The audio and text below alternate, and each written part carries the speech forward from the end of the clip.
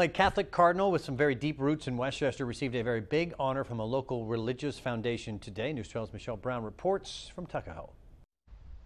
On a visit from his new home at the Vatican and back in Westchester, His Eminence Edwin Frederick Cardinal O'Brien makes his way into the St. Pio Foundation in Tuckahoe Tuesday to receive its first ever Adelia Award.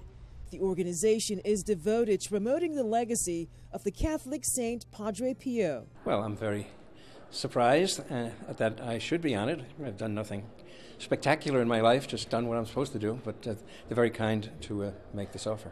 St. Pio officials say Cardinal O'Brien was an easy choice for this year's award. Because Cardinal O'Brien is a member of the Religious Advisory Board of the St. Pio Foundation. Cardinal O'Brien has deep roots in Westchester. He lived in Bedford, went to school in Katonah, and served two terms as rector at St. Joseph's Seminary in Yonkers. Oh, I think it's the most important work in the church is to uh, uh, be able to form new priests, uh, seminarians. County Executive Rob Astorino on hand for the celebration declared October 4th Cardinal O'Brien Day in Westchester.